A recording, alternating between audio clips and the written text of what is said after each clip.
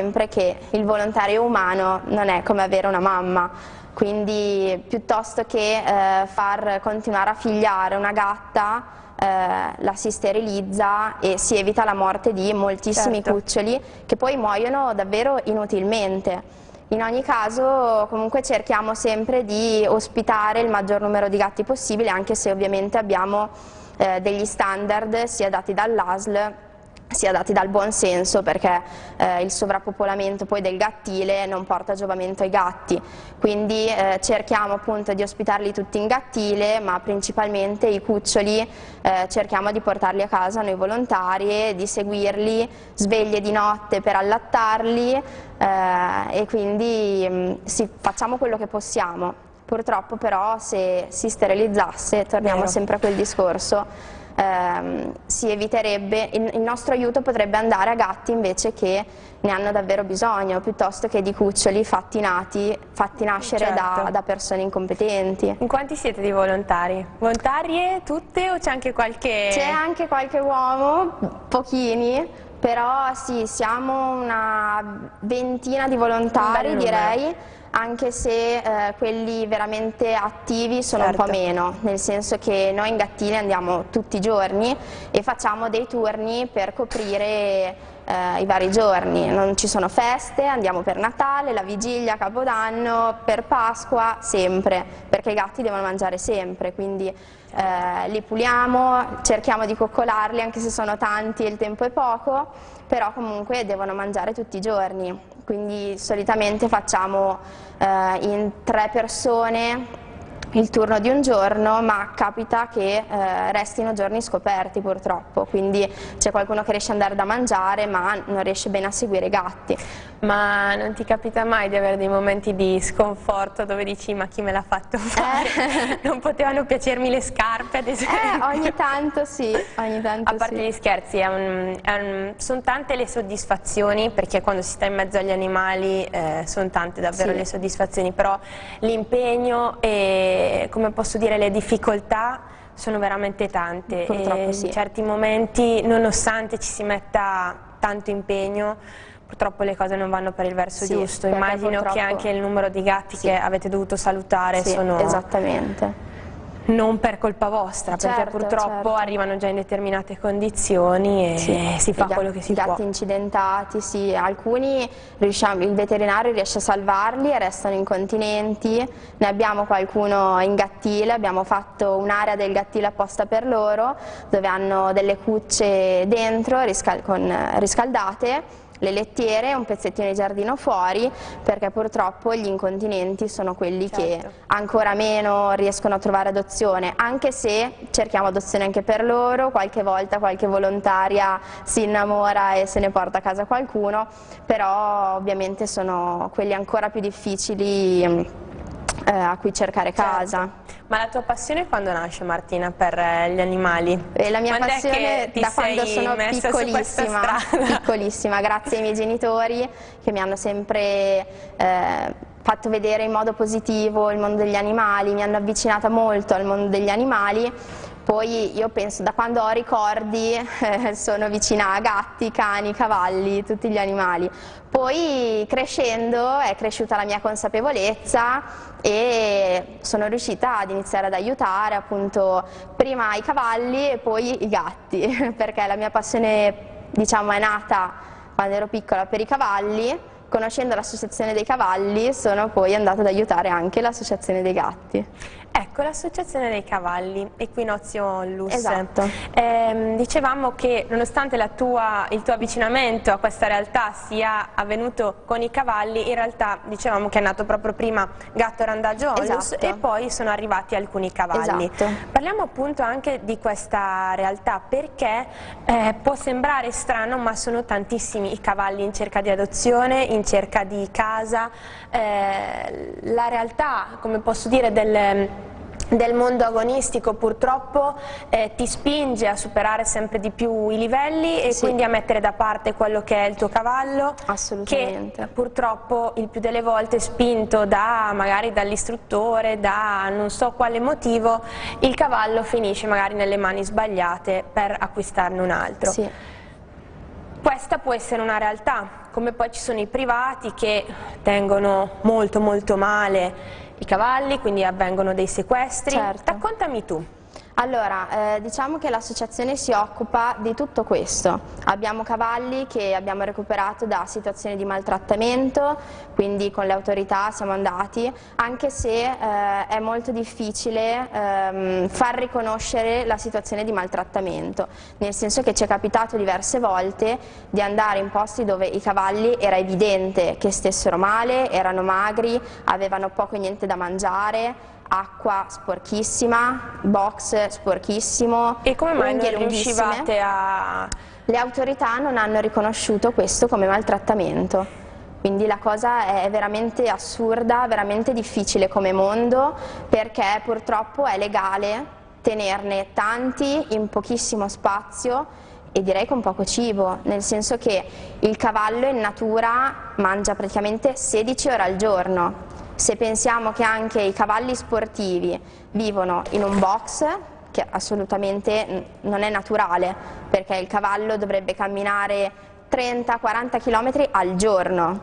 Se pensiamo che il cavallo vive in box non può soddisfare questo suo bisogno, oltre al fatto che gli viene dato da mangiare due volte al giorno se va bene, tre nei centri più grandi, eh, però è comunque poco rispetto alle ore che dovrebbe passare a mangiare.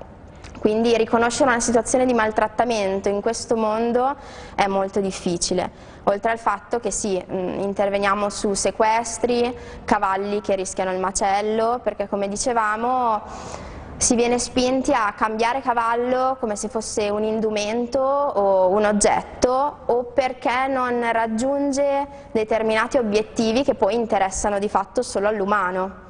Purtroppo da quel punto di vista lì eh, possiamo fare poco, eh, ci sono anche persone che ancora lo mangiano il cavallo.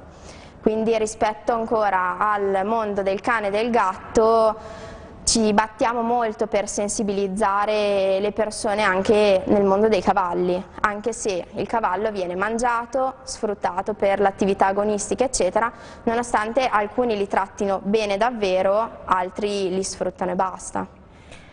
Quindi queste un po' sono le varie casistiche. Ehm, raccontami un po' di alcuni cavalli che sono arrivati da voi e come li hai trovati a livello oltre fisico che magari era molto più evidente ma anche a livello psicologico, sì, esatto. sì. Cosa, cosa ti ha colpito di questi animali? Allora, principalmente tutti i cavalli che arrivano o hanno dei problemi che di solito sono agli arti, appunto perché vengono molto sfruttati, quindi problemi al nodello, agli zoccoli piuttosto che infiltrazioni e quindi molto sfruttati. Lei per esempio è Ailen e ci è arrivata che aveva solo un mese e l'abbiamo presa perché aveva un'infezione al ginocchio, alla rotula di un posteriore, già in stadio molto avanzato e come vedete nella foto eh, lei era sempre coricata siamo, passavamo per una strada e vedevamo questa puledrina così piccola, sempre coricata, sempre sdraiata, che è molto strano perché i cavalli giovani sono sempre a muoversi, non stanno fermi un secondo, vanno sempre ad esplorare, questa puledra invece era sempre sempre coricata. E quindi siamo andati ad informarci e mm, il proprietario ci ha detto che appen aveva appena preso accordi con, con il commerciante per eh, venderla e darla via perché appunto aveva questa infezione alla rotula. Noi subito siamo intervenuti, abbiamo contattato il commerciante, abbiamo preso accordi e eh, prima ancora che la puledra venisse da noi l'abbiamo mandata in clinica perché zoppicava, si trascinava al posteriore, faceva fatica a stare in piedi e quindi sono serviti veramente tanti soldi per farla operare, quindi raccolte fondi, eh, persone che ci hanno aiutati e, um, attualmente eh, è perfettamente sana, vive in branco, gioca, corre tranquillamente, è molto molto vivace e come si vede nella foto molto in forma, tra l'altro una TPR, quindi è un cavallo da tiro molto molto grande e attualmente vive quasi senza la rotula perché è stata raschiata via tutta l'infezione, il tessuto che eh, era in necrosi e ha praticamente dei frammenti di osso al posto della rotula. Infatti è ancora in prognosi molto riservata, nel senso che... Quanto tempo ha adesso? Adesso ha tre anni e mezzo, ne fa 4 a marzo. E, um, attualmente è ancora in prognosi riservata perché al mondo non esistono altri certo. casi di un cavallo senza una rotula. Casi invece di, um, come ti dicevo prima, di, come posso dire, di reali difficoltà a livello mentale, di movimenti, non so, stereotipati, vi sono capitati? Sì, sì, Cavalli moltissimi. con dei tic?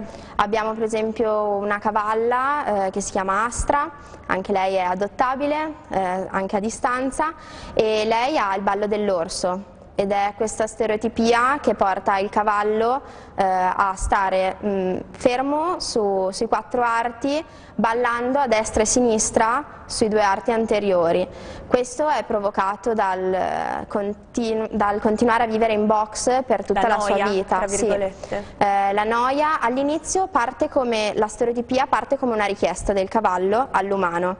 Quindi il cavallo che è in box, quando passa l'umano, chiede all'umano di uscire, cerca di fargli capire che ha bisogno di muoversi l'umano continua comunque a, a, passare davanti senza fare niente e quindi sì, poi diventa un'abitudine per il cavallo continuare a fare questo. Adesso per esempio Astra vive eh, da quando ce l'abbiamo in un paddock molto grande con altri cavalli, quindi avrebbe tante attività da fare, però ancora capita che quando c'è un momento di stress, eh, come magari quando si va a dare il fieno oppure quando si dà una carota, la sua richiesta magari di avere un'altra carota inizia a fare il ballo dell'orso, quindi questa abitudine comunque le è rimasta. Speriamo nel tempo che facendo attività distraendosi e vivendo con gli altri cavalli piano piano passi, infatti si è ridotta moltissimo rispetto all'inizio, adesso capita una volta ogni tanto, però purtroppo sono ancora cose del suo passato che lei si porta sulle spalle. Cavalli sono animali da branco, Purtroppo tanti di loro per appunto la vita eh, agonistica a cui sono sottoposti perdono questa capacità di, di comunicare con esatto, i simili, sì. tanto che diventa quasi pericoloso metterli insieme. Assolutamente. Eh, come riuscite a reinserire, a reinsegnare a questi cavalli a comunicare appunto con, con, gli altri cavalli, con i propri simili? Non è facile, nel senso che dipende dal cavallo che arriva, ovviamente la soggettività eh, gioca un ruolo molto importante. Eh, ci sono cavalli a cui basta vivere per un po' di tempo a fianco eh, agli altri cavalli e che facciamo poi incontrare con cavalli molto competenti invece nella comunicazione con gli altri e li facciamo incontrare tenendoli alla longhina, lasciandoli liberi di esprimersi, ma ehm, ci mettiamo in condizione che se vediamo che la situazione si rende pericolosa possiamo intervenire per eh, fermarli. Esatto.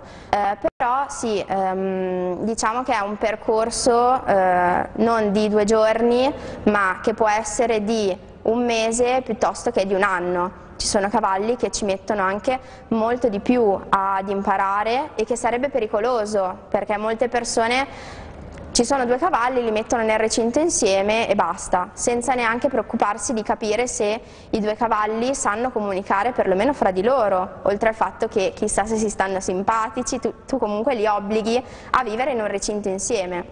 Vivendo invece in branco c'è molta più possibilità di trovare un amico oppure comunque se il paddock è molto grande, se c'è qualcuno che mi sta antipatico me ne vado da un'altra parte. Però assolutamente invitiamo sempre le persone a non eh, fare il fai da te perché è molto pericoloso, comunque i cavalli calciano, mordono e si possono fare molto molto male. Eh, io per esempio che sono istruttrice di equitazione etica seguo l'associazione anche e soprattutto in questi momenti, quindi quando c'è da inserire un cavallo in branco, quando c'è da mm, fare un po' di riabilitazione, sia fisica che psicologica quel cavallo, perché molto spesso purtroppo ci arrivano delle macchine, non più un cavallo che pensa con la sua testa, ma delle macchine che fanno sempre solo quello che l'umano dice ci arrivano cavalli che non dicono di sì, non dicono di no, non esprimono il suo pensiero, non, non fanno nulla, semplicemente stanno lì. E quindi noi aiutiamo questi cavalli a riprendere in mano la loro vita, perché davvero essere una macchina è molto molto spiacevole. Ma per te, chi è il cavallo? Se tu dovessi descrivere un